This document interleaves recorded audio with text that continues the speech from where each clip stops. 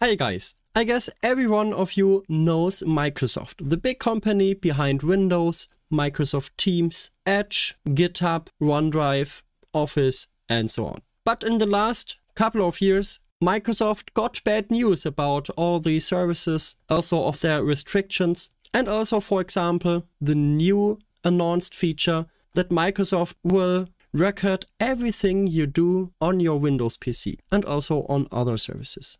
How can we get away from it? What are the alternatives to various Microsoft products? In this video, I'm gonna show you many of them and I want to talk about how well these alternatives are fitting and what's the actual status about them. So I would say, let's start with Microsoft Windows. Yes, this is a Linux channel, so of course I would suggest using Linux Mint instead of Microsoft Windows because in my opinion this is the best distribution for beginners with Linux, also with experienced users who just want to get their work done. It's a very stable operating system with a clean modern desktop. So if you want to move away from Windows, then Linux Mint will be my absolute recommendation for you. But if you switch from Windows to Linux, then many applications aren't working on your Linux machine, which you got used to them. For example, Microsoft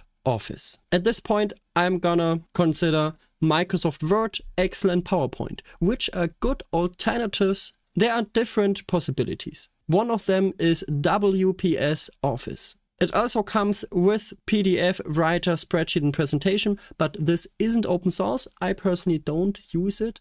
What I personally use is LibreOffice, which is complete open source, developed by the Document Foundation, which is a really true open and free software project, which I can recommend you if you don't rely on Microsoft Word format, for example because LibreOffice handles their own standard really good, the open document format, but when it comes to proprietary file formats such as DocX, Excel or PowerPoint, then LibreOffice doesn't handle this quite well. Another alternative which is also running on Linux, but also on Windows for example, or even Mac and Android I guess, is SoftMaker Office.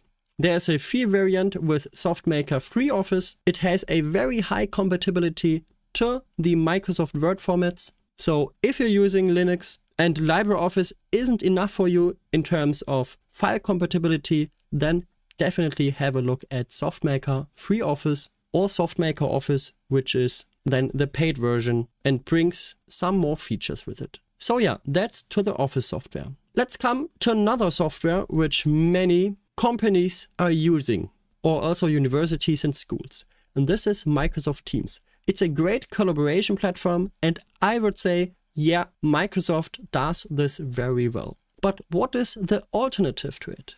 At first, we don't have a complete fitting alternative for all features which are coming with it. The best alternative to Microsoft Teams, I guess, would be Nextcloud, which you can also consider as a open source OneDrive, Dropbox or Google Drive. It also has many collaboration features, which is great for small teams. But if you want to grow bigger, then the cloud for the files in Nextcloud is one of the key elements of Nextcloud and Nextcloud does this really good. But in terms of collaboration, for example, chats, meetings, and so on, I wouldn't consider it as the best alternative. Additionally, I would recommend you Element to stay always connected with your team members. You can also consider it as an alternative to Discord, WhatsApp, Facebook messages, or something like this. You have great chat functionality in the browser, also at the smartphone or at your desktop. It relies on the Open Matrix protocol, where you can collaborate with your team members and also even other servers and companies, which is really great. And if you just need to make online meetings, then I can recommend you Jitsi. It's also a free video conferencing platform, which has all the stuff you need.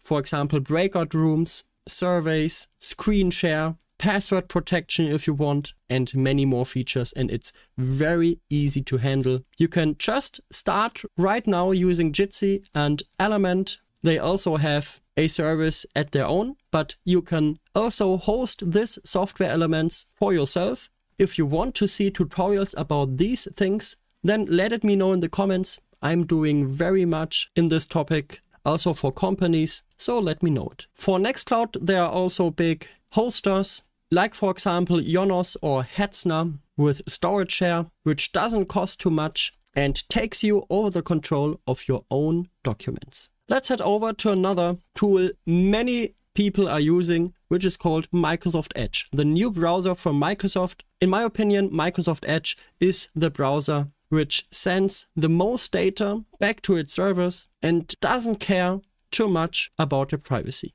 And in the end, Microsoft Edge is just a copy of Google Chrome, better to say Chromium, the open source project behind Google Chrome. For example, on Linux, you can install Chromium very quickly through the software manager. And also for Windows, there are builds. Other good browsers are the Brave browser or the good old Mozilla Firefox. If you didn't try out Mozilla Firefox in the last years, then I can really recommend you to give it a new try. Firefox evolved a lot in the last years and is one of the last browsers which aren't using the Chromium engine. So to keep the internet more diversified, then you should choose Firefox over Brave, Chromium, Microsoft Edge and so on because I guess with Safari from Mac, these are the only two bigger browsers which have a separate web engine.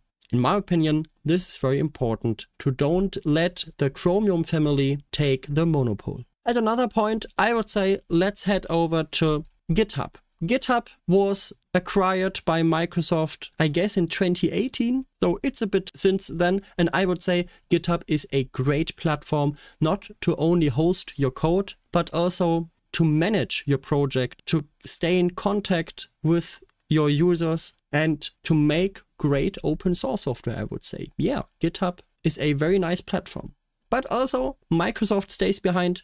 And if Microsoft wants, they can shut down some services or put some services behind another paywall. So instead, using GitHub, Codeberg could be a great alternative. It is a non-profit organization from Germany based in Berlin, which also has the most important features to host your project and to stay connected with your community. So just have a look at it if you didn't know about it. I am personally from Germany and I know a lot of developers which are using Codeberg and are very happy with this free platform. This is open to everyone. But then you are also in some kind of dependency of another organization. You can also host your own GitHub, I would say, and this is called gitlab.com. Maybe you heard about it. I won't use the GitLab service from gitlab.com because they also offer some managed hosting. I personally would host GitLab myself on my own server, then you have no dependency at all. And many companies and organizations I work for are using already GitLab in their own intranet to host their software projects and to collaborate in teams when they are developing new software. Also, let's have a look to Outlook. Outlook is a great messaging platform and also a bit like collaboration tool. We see also there something like Microsoft To Do and such things. And I personally can recommend you as the best alternative Thunderbird. It is the email client from Mozilla the Firefox developers, and Thunderbird got a complete new UI in the last months and made big steps forward and you can use it very easily in Linux, Windows or Mac. Also you can collaborate with others by syncing for example your Nextcloud calendars and also Thunderbird even supports some chat software if you want to extend it.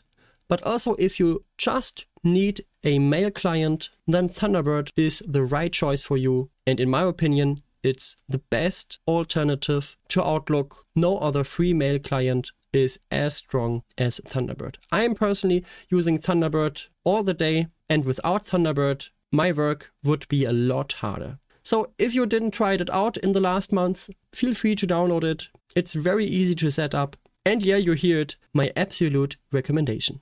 So yeah, these were many alternatives to some known Microsoft products. There are also some other Microsoft products I considered with some alternatives. Here's the graphic about it if you want to get an overview. Also with not mentioned Microsoft products in this video. What are your alternatives to some Microsoft product? And which product of Microsoft are you loving the most because of its functionality and maybe also ease of use?